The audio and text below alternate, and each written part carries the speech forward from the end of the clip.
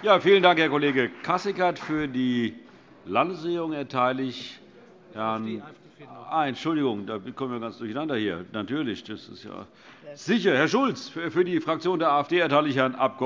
Schulz das Wort. Ich bitte um Verzeihung.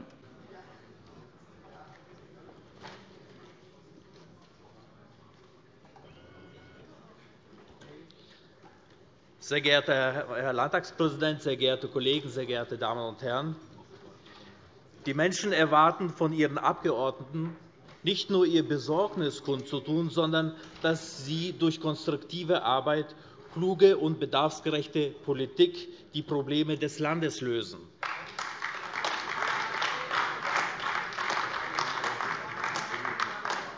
Dieser Antrag ist aber nur ein Zeichen der Hilflosigkeit.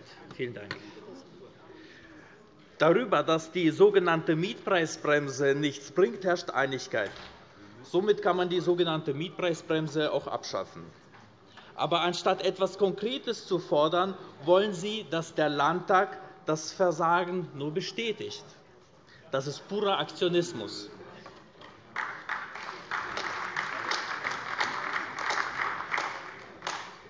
Sie stellen den Antrag, der Landtag fordere die Landesregierung auf, einen Mietendeckel einzuführen. Abgesehen von der Absurdität dieser Forderung ist Ihnen überhaupt bewusst, wie verunsichert solche Vorschläge auf Kleininvestoren und Immobilienbesitzer wirken. Kein Vermieter wird noch in seinen Bestand investieren, und die Mieter müssen dann in marode Wohnungen leben. Dieselben, die jetzt nach einem Mietendeckel schreien, werden nach fünf Jahren behaupten, der Markt funktioniert nicht. Ja, der Unterschied zwischen Ihrer und unserer Fraktion ist, dass wir, klar, das ist auch richtig so, dass wir uns Gedanken darüber machen, wie wir mehr Wohneinheiten bauen. Sie aber möchten das knappe Gut Wohnraum mit Ihren ideologisierten Vorschlägen weiter verknappen. Wir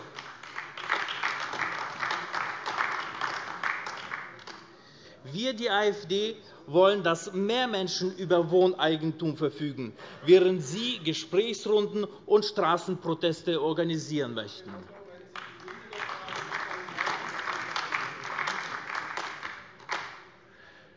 Wir möchten, dass die gebauten Wohnungen den Bedürfnissen und Wünschen der Menschen entsprechen. Sie aber wollen, flächendeckend barrierefreie Wohnungen, selbst wenn es dafür keine äh, Notwendigkeiten gibt. Dazu kommt, dass Sie klimaschonende Wohnungen haben wollen. Abgesehen davon, dass Sie nicht erklären, was man darunter verstehen soll, möchte ich wissen, wie Sie im selben Satz von bezahlbaren Wohnen reden können, wenn klar ist, wenn klar ist, dass jede solcher Maßnahmen das Bauen verteuert. Das ist typisch linke Politik, alles haben wollen, und das für kleines Geld.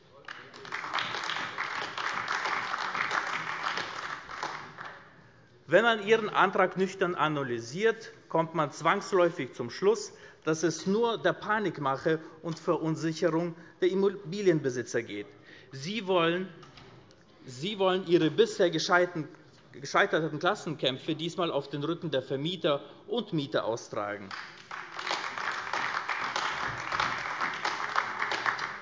Und dieser Versuch ist von vornherein zum Scheitern verurteilt. Unsere Forderungen der AfD lauten weniger Bürokratie, schnelleres Baurecht, weniger Vorgaben zur Energetik und vorbeugenden Brandschutz, Abschaffung der Grunderwerbsteuer, Förderung der bauwilligen Familien. Das war jetzt ein ganzer Blumenstrauß an Instrumente.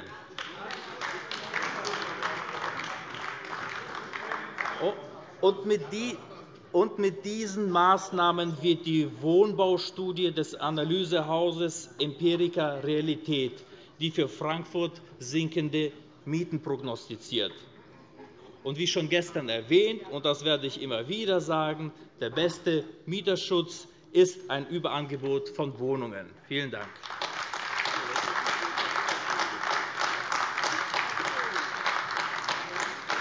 Ja, vielen Dank, Herr Kollege Schulz. Jetzt ist es aber endgültig soweit, und ich darf Herrn Staatssekretär Deutschendorf das Wort für die Landesregierung erteilen. Es ist dann schon angekündigt, dass es eine zweite Runde gibt. Herr Staatssekretär, Sie haben das Wort. Sehr geehrter Herr Präsident, meine verehrten Damen und Herren! Die Debatte gestern und ihre Fortsetzung heute verdeutlichen die Relevanz des Themas Wohnen. Auch ich beginne mit ein paar grundlegenden Feststellungen.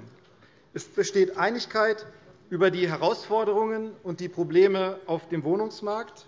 In den hessischen Großstädten sind die Mieten und Immobilienpreise in den vergangenen Jahren massiv gestiegen. Das Thema berührt viele Menschen. Wer eine Wohnung im Ballungsraum sucht, kennt das Problem. Menschen mit einem geringen Einkommen haben oftmals große Schwierigkeiten, eine geeignete und zugleich bezahlbare Wohnung zu finden. Wir wollen, und da sind wir uns hier im Hause einig, da sind wir uns einig bis zu diesem Punkt. Möglichst jeder soll eine Wohnung zu einem bezahlbaren Preis finden können. So ist es auch im Koalitionsvertrag vereinbart. Daran arbeiten wir, und auch ich persönlich werde daran in den nächsten fünf Jahren mit vollem Einsatz mitarbeiten.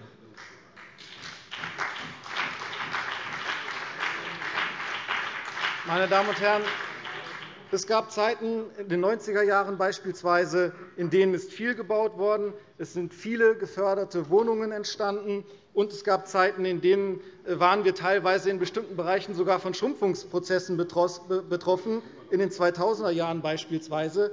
Da wurde wenig gebaut, und äh, es sind sehr wenige öffentlich geförderte Wohnungen entstanden. Das führt zu Schwankungen. Und deshalb endet zurzeit für viele Sozialwohnungen die Mietpreis- und Belegungsbindung. Dies ist nicht nur in Hessen so. Dabei handelt es sich um ein bundesweites Phänomen. Und gleichzeitig haben wir es mit einem großen Einwohnerzuwachs in den attraktiven und boomenden Regionen wie Frankfurt Rhein-Main zu tun. Beide Entwicklungen fallen zusammen, und das macht die Herausforderung äh, besonders groß. Die Landesregierung ist sich an dieser Stelle ihrer Verantwortung sehr bewusst und ergreift alle ihr zur Verfügung stehenden Möglichkeiten, die geeignet sind und wirksam die Situation auf dem Wohnungsmarkt zu verbessern. Dazu haben wir gestern einiges gehört, heute auch wieder. Ich fand sehr eindrücklich und gut zusammengefasst den Vortrag des Fraktionsvorsitzenden und Abg. Äh, Wagner, wie er gestern vorgetragen hat. Das war ein sehr klarer Überblick über das, was wir alles tun. Wir haben attraktive und nachgefragte Förderprogramme aufgelegt, die mit ausreichend Mitteln ausgestattet sind. Wir unterstützen und fördern die Kommunen bei der Entwicklung, Schaffung und Bereitstellung von Bauland und Baurecht im Zuge der Baulandoffensive und wir sind mit der Nassauischen Heimstätte selbst tätig und leisten so einen direkten und eigenen Beitrag auf dem Wohnungsmarkt, z. B. indem wir die Zahl der Wohneinheiten der Nassauischen Heimstätte von derzeit ca. 60.000 auf 75.000 in den nächsten Jahren erhöhen werden. Und, meine Damen und Herren, wir nutzen auch, wir nutzen auch die regulativen Instrumente, die wir für geeignet halten.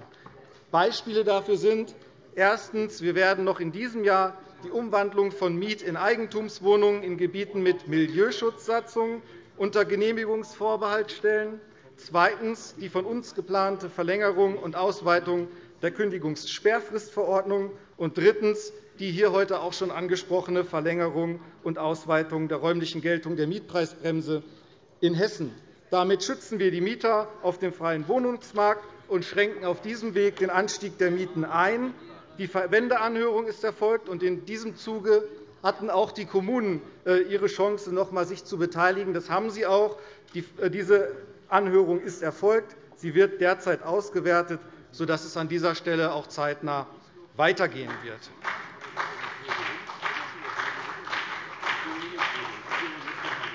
Und wie an all diesen Maßnahmen deutlich zu erkennen ist, konzentrieren wir uns auf die Instrumente, bei denen wir sicher sind, dass sie kurz- und mittelfristig eine spürbare Wirkung entfalten. Dazu gehört beispielsweise die Mietpreisbremse oder auch die Kappungsgrenzenverordnung. Dass dazu aber auch der Mietendeckel gehören wird, das bezweifle ich stark. Schließlich weiß aktuell noch niemand, und auch das ist hier schon angesprochen worden, ob sich ein Mietendeckel im Sinne eines landesrechtlich geregelten und zeitlich beschränkten Mietenstopps überhaupt realisieren lässt bzw. zulässig wäre. Das ist höchst umstritten. Diese Frage wird derzeit lebhaft diskutiert. auch das Gutachten des Wissenschaftlichen Dienstes des Bundestages ist hier angesprochen worden. Es kommt zu dem Schluss, dass die Idee eines Mietendeckels rechtlich nicht haltbar ist, da frei am Wohnungsmarkt angebotene Mietwohnungen die Mietpreisregelung des Bundes im Bürgerlichen Gesetzbuch eine abschließend gesetzliche Regelung ist. Grundsätzlich muss also erst einmal die Frage geklärt werden, ob die Länder überhaupt die Kompetenz haben zur Einführung eines solchen Mietendeckels. Hinzu kommen weitere rechtliche Bedenken. Meine Damen und Herren.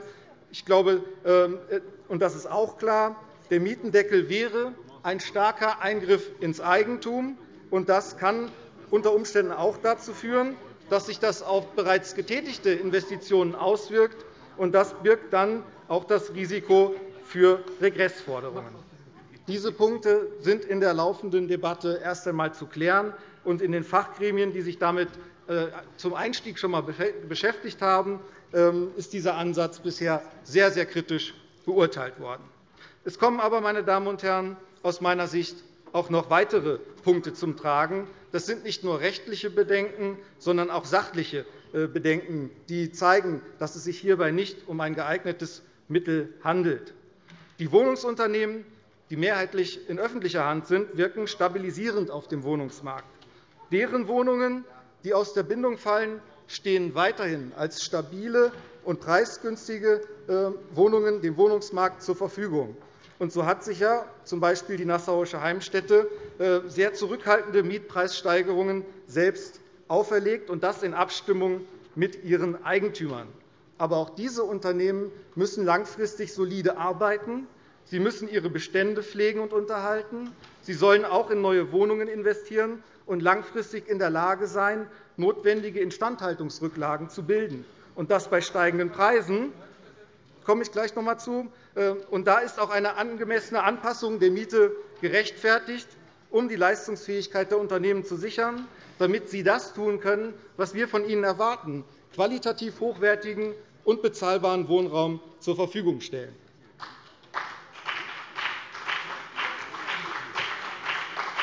Ja, und Herr Lenders, da haben Sie recht, diese eigene Beschränkung der Nassauischen Heimstätte an dieser Stelle. Das ist ein Kraftakt. Wir haben uns das aber sehr genau überlegt. Wir halten das für einen begrenzten Zeitraum für vertretbar. Wir werden natürlich auch an anderer Stelle die Nassauische Heimstätte weiter unterstützen und auch stärken, z. B. im Hinblick auf die Eigenkapitalausstattung.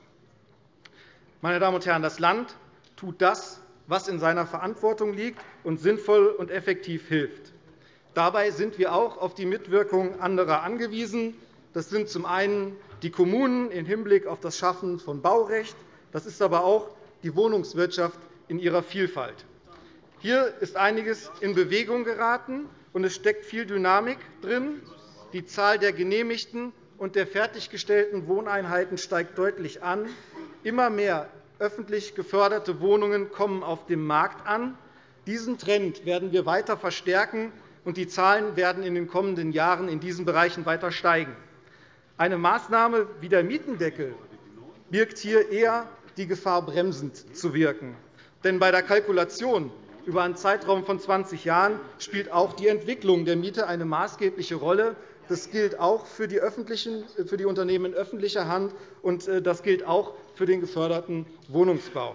Der Deckel wäre an dieser Stelle das falsche Signal und das Gegenteil von dem, was wir erreichen wollen.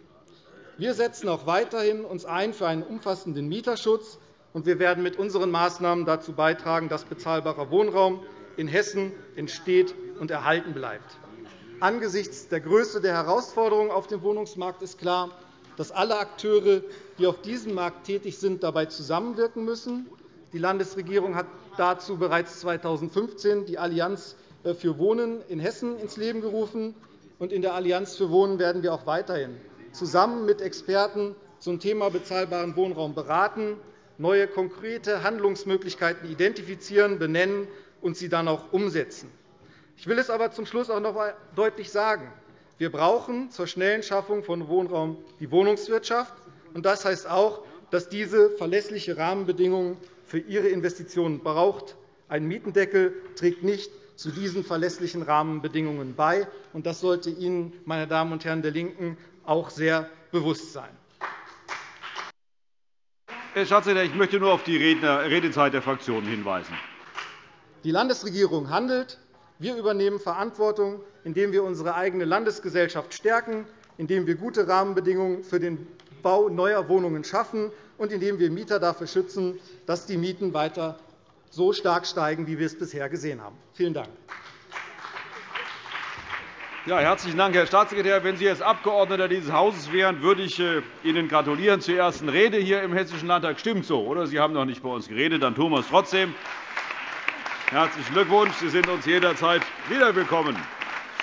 Ja, meine Damen und Herren, wir kommen damit zum vorläufigen Höhepunkt der zehnten Plenarsitzung des Hessischen Landtages will Ihnen äh, voller Vorfreude ankündigen und darf das vielleicht verbinden mit ähm, der Spruchweisheit, je später der Abend, desto schöner die Gäste, darf heute auch ein vorläufiger Höhepunkt meiner Amtszeit als äh, Präsident des Hessischen Landtages begrüßen, die hessische Gurkenkönigin Paula Hulbert.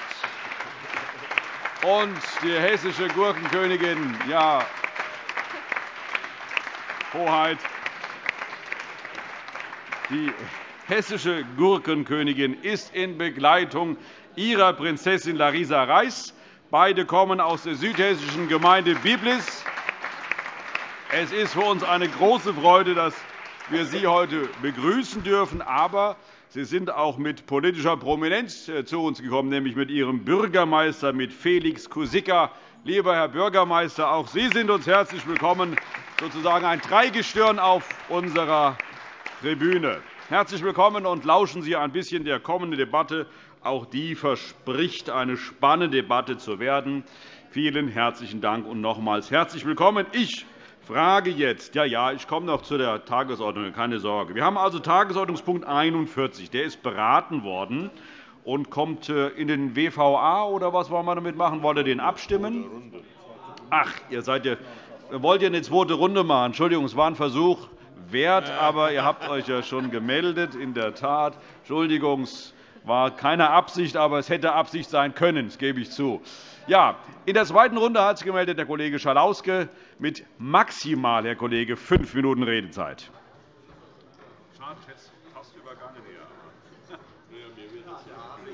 Habe ich Sie ertappt, Herr Präsident?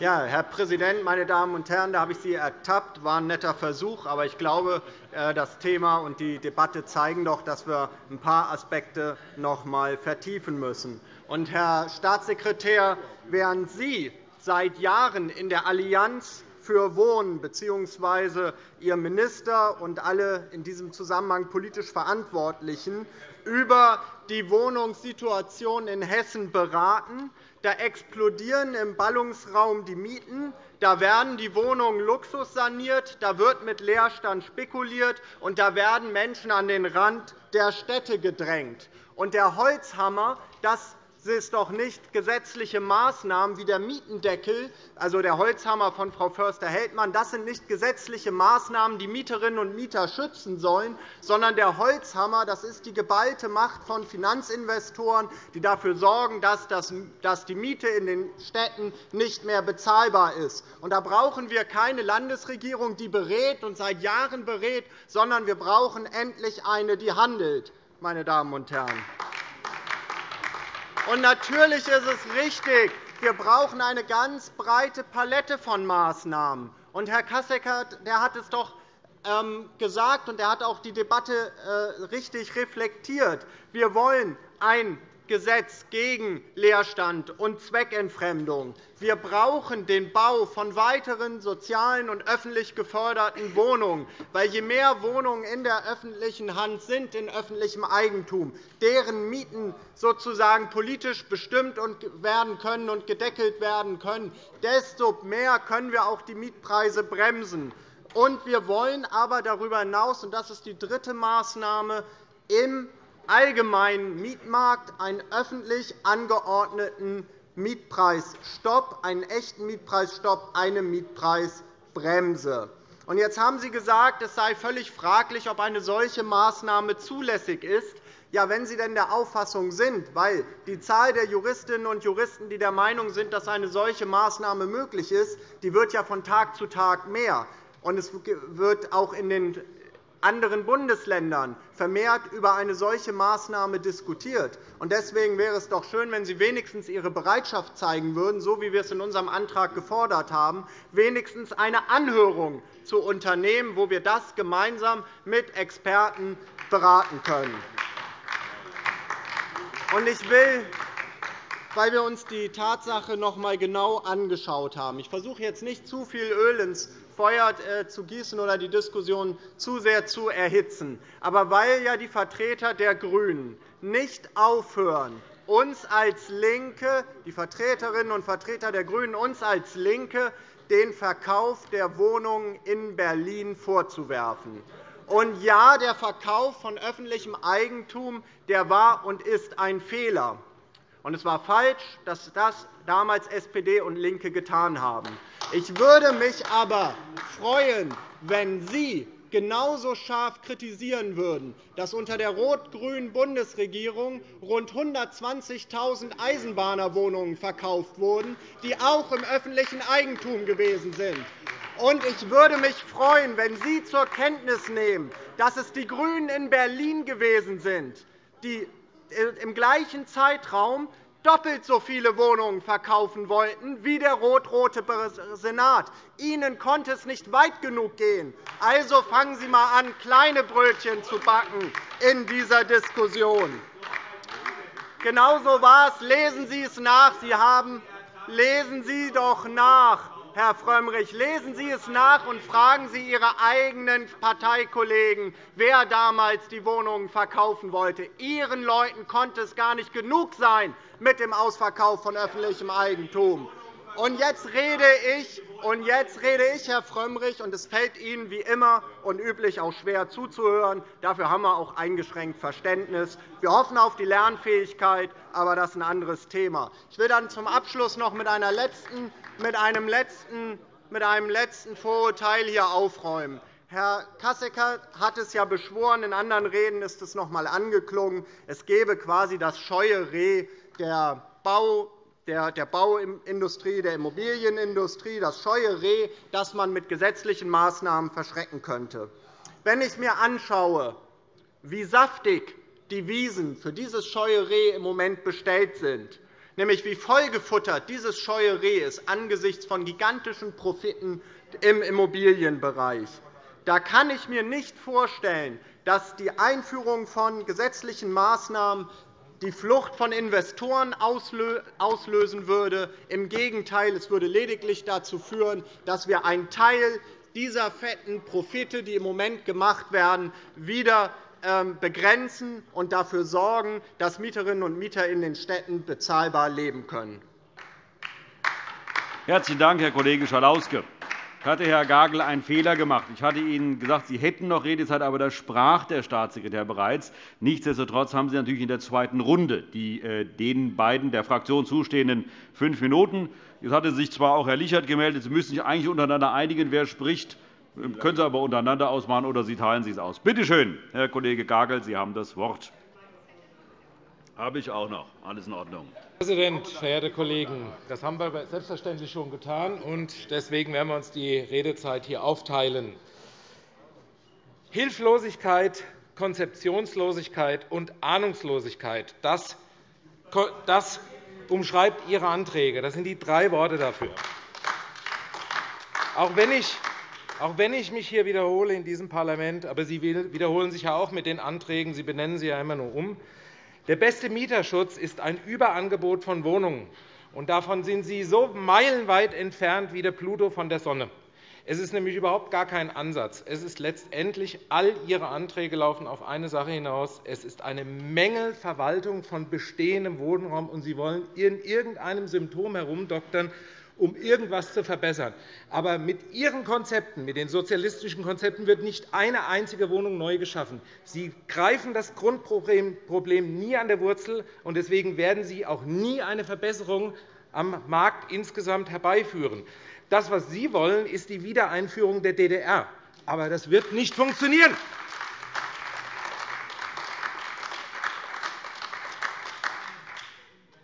Zwei Millionen Menschen sind ins Land gekommen. Ja, ich weiß, das wollen Sie nicht hören, aber Sie müssen es sich anhören. Es ist einfach so. Es ist eine Tatsache. Es ist eine Tatsache. Die haben ihre Wohnungen die haben ihre Wohnungen nicht mitgebracht. Die haben ihre Wohnung nicht mitgebracht, Herr Schalauske. Die haben sie nicht mitgebracht, die Wohnung. Das, was sie mitgebracht haben, waren ihre Handys. Aber die Wohnung haben sie nicht mitgebracht. Ja. Diese, diese 2 Millionen Menschen, jetzt rede ich, diese 2 Millionen Menschen brauchen roundabout 600.000 Wohnungen. Und die fallen ja nicht vom Himmel.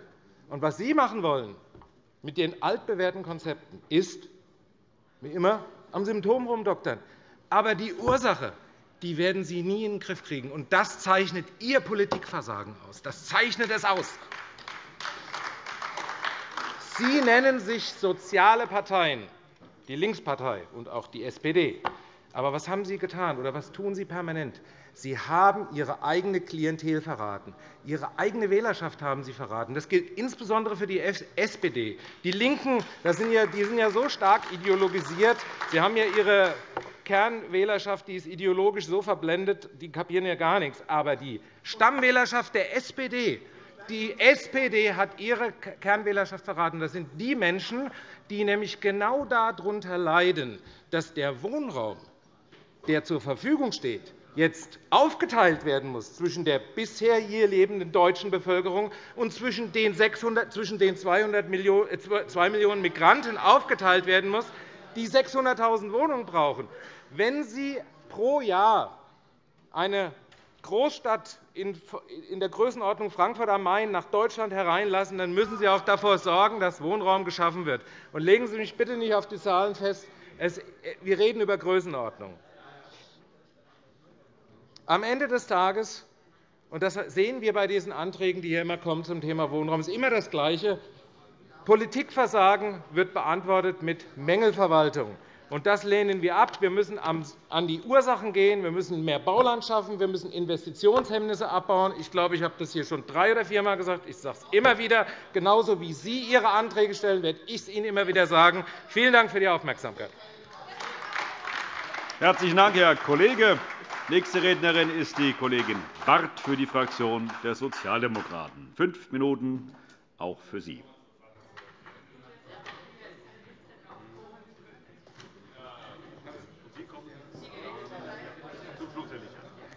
Herr Präsident, meine Damen und Herren! Was mir in den Reden von grünen Politikern, ob das jetzt gestern war, Herr Wagner, Herr Al-Wazir, heute Frau Förster-Heldmann, äh, Herr Deutschendorf, immer wieder auffällt, dass Sie in den Auflistungen Ihrer Erfolge der letzten fünf Jahre inzwischen grundsätzlich Punkte aufnehmen müssen, die Sie eigentlich erst für diese Legislaturperiode beschlossen haben, aber noch gar nicht umgesetzt, wie z.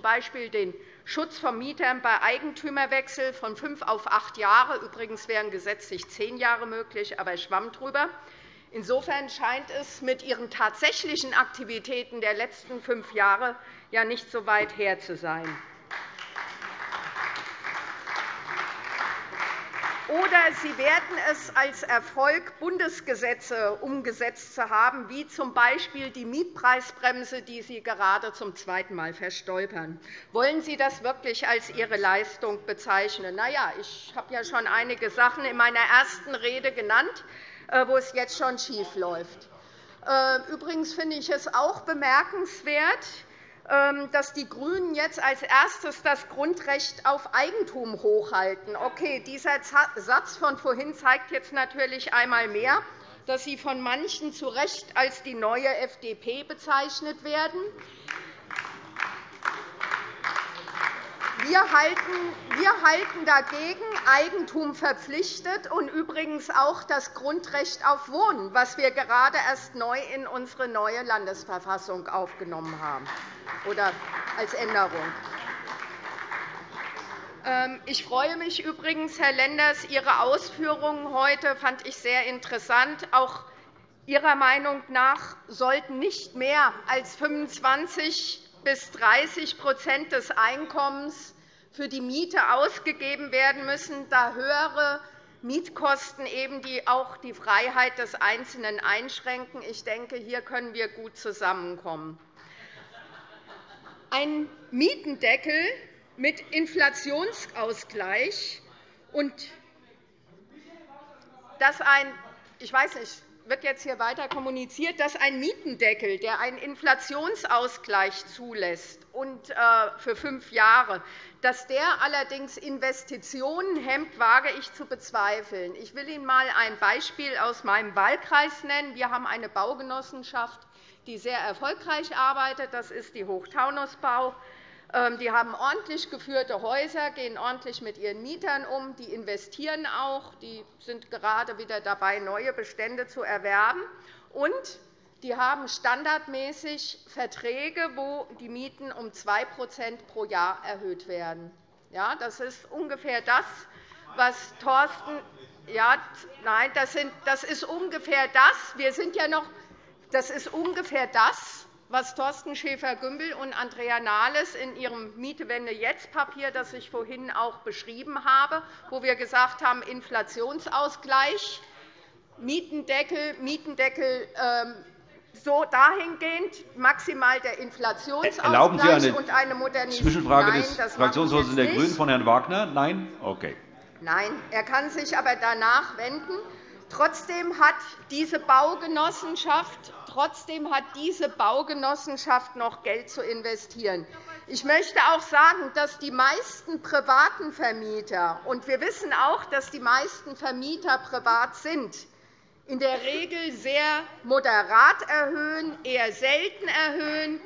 Ähm, wenn Sie anständige Mieter haben, die ordentlich ihre Mieten zahlen, dann sind Sie froh darum.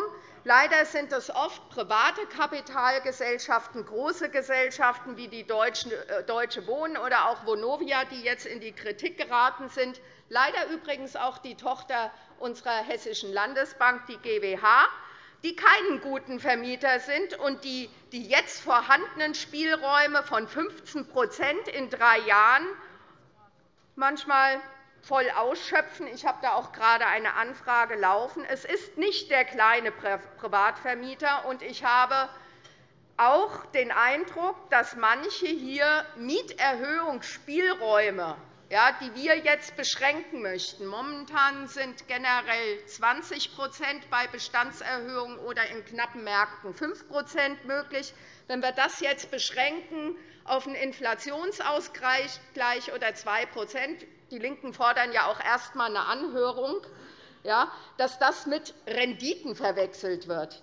In Städten mit angespannten Mietmärkten können Vermieter schon jetzt sehr gut mit den erzielten Mieten gut rechnen, und sie können auch damit investieren. Herr Staatssekretär Deutschendorf, Sie können ja bezweifeln, dass ein Mietendeckel rechtlich Frau Kollegin, ich muss Sie an die Redezeit erinnern. Okay. Am Ende meiner Rede Daher fordert der linken Antrag ja auch erst nur eine Anhörung. Ich denke, dieser Diskussion sollten wir uns wirklich nicht verschließen. Vielleicht können wir da auch alle noch etwas dazulernen. Vielen Dank. Vielen Dank, Frau Kollegin. Als Nächster hat sich gemeldet und verbliebene Redezeit ist zwei Minuten und eine Sekunde. Der Kollege Lichert von der Fraktion AfD. Herr Präsident, werte Kollegen, königliche Hoheiten! Es ist jetzt von mehreren Fraktionen hier auf relativ sachlicher Ebene vorgetragen worden, warum Ihr Politikmodell nicht funktionieren kann, warum auch in vielen anderen Politikfeldern gerade Ihre dezidiert linke Politik zulasten der Schwachen geht. Warum betreiben Sie sie trotzdem? Ich glaube, um da die tiefere Motivlage zu verstehen, muss man ein bisschen um die Ecke denken. Vielleicht ist ja die Idee dahinter so etwas Ähnliches wie ein linkes politisches Perpetuum mobile zu schaffen. Denn je schlechter, je linker die Politik in unserem Land ist, umso mehr Menschen sind auf Transfers des Staates angewiesen und werden dann natürlich tendenziell die Parteien wählen, die für das Füllhorn des Sozialstaates sind. Und wenn wir heute schon tief in der ideologischen Mottenkiste herumwühlen, dann mache ich da gerne auch mit. Wenn Religion Opium fürs Volk ist, dann ist Marxismus Opium für Intellektuelle und Absolventen der Geschwätzwissenschaften, für die es sonst keine sinnvolle Einsatzmöglichkeit gibt. Danke schön.